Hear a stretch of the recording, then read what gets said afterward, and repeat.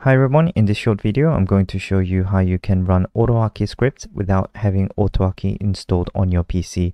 If you're interested in this topic, please continue watching.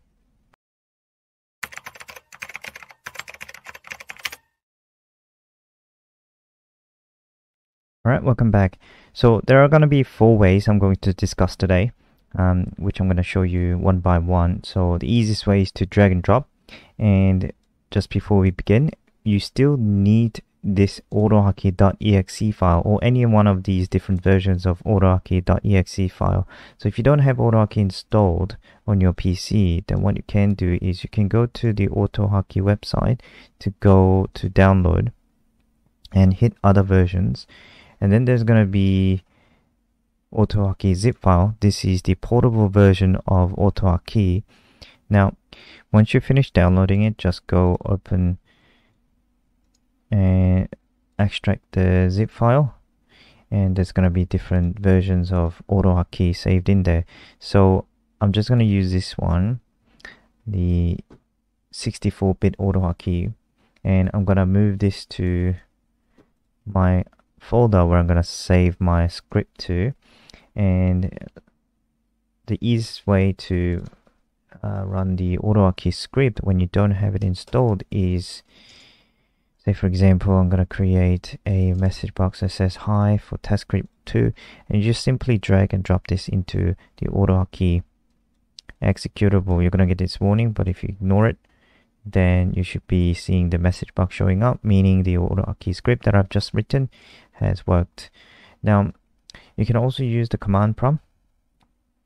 Uh, so go start and bring up the command prompt, and then can change directory to wherever I am.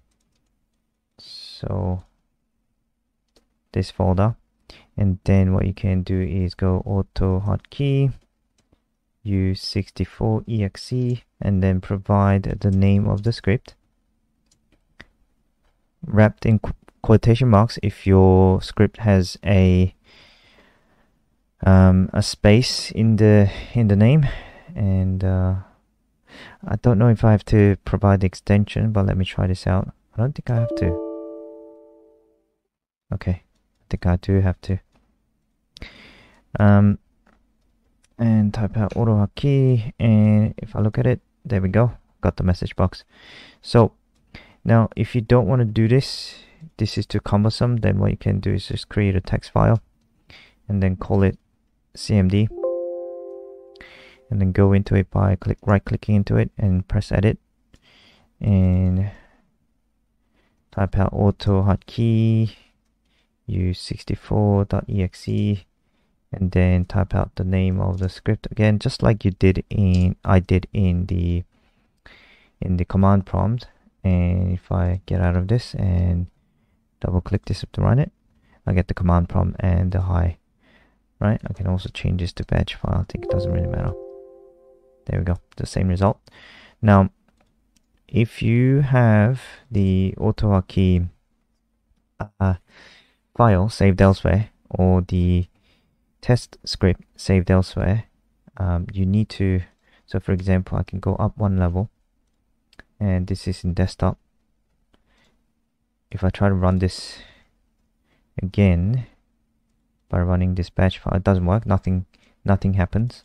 And that's because I need to provide the path to the AutoHotkey executable and that's gonna be this now again, if you have a space within the path, then you need to wrap the entire thing with quotation mark. I think to be safe, you can just wrap it.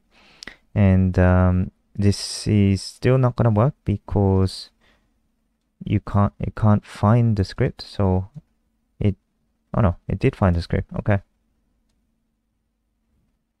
Oh, I see. Okay, so this batch file was saved in the same uh, place as the the AutoHotkey script itself so it managed to find the script but if you don't have that let me just close the message box out so if you have a new folder let's say if you have a new folder and moved it to here I should probably get out of this as well and where I put it. So there we go. This is probably not going to be able to find the script and that's because it's not saved in the same folder.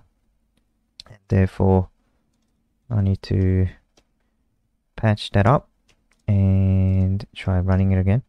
And there you go it works. So it you if the executable file for AutoHotkey is saved, saved elsewhere then you've provided a full path of that as well as the script if they're all in the same folder as you have seen the first time then you just run it um, without all the without all these paths.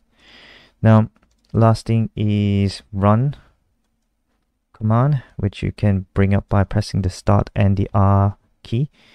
And this is just like the command prompt. So all you're gonna do is put all of that in. Got a backslash here. And then test script AutoHotkey place it in quotation marks and run it. And I got a got a security warning. But if I go ahead and run it I get the message box. That is it. And if you ever wanted to create a shortcut because um, your script say this script now is it doesn't have a hotkey now if you uh, if you run if you run the script that has a hotkey so say for example let me turn this into a hotkey emergency exit as well now if I run it by drag dropping it, the script into the executable file and pressed H, I get the message box because my hotkey is running. Press exit to exit. Um, I'm sure exit. Okay, I did exit out. Now, if you don't have a hotkey and it's this the script is just um, a one-time script that runs just like this message box and gets out, and you want to create a shortcut for that, what you can do is to create let me see if I can just remove all of this so I'm going to save the batch file in the same folder as my script and the AutoHotkey um, executable. So I run this. It works. Okay. Now I'm going to create a shortcut for this and then go back out to my desktop. And in your desktop uh, save the shortcut in the desktop and go properties. And here there's going to be an option to create a shortcut key. So you can do I, I don't think you can just do control or alt alone. Um, so what you can do is you can go control alt and I don't know uh, numpad 5 let's see oh you can do control numpad 5 okay not control alt and numpad 5 so control control and numpad 5 I've set it up so if I press control and numpad 5 now then that batch file is going to run. Okay, uh, this is it for today's video. I hope you uh, found it useful and I'll see you in the next video. Hi guys, I just wanted to quickly show you before we wrap up the video that if you run the batch file as you saw before, we're going to get the command prompt sitting behind the message box and that's only going to go away when the script, the AutoHotkey script ends, which means in this case, I press the OK button. Now, if you don't like that, you don't want the command prompt to show up, then what you can do is you can add start in front of the command to run the AutoHotkey script. Now, if I add that and run this again, I'm going to get a flash of the command prompt, but it will go away before the script ends.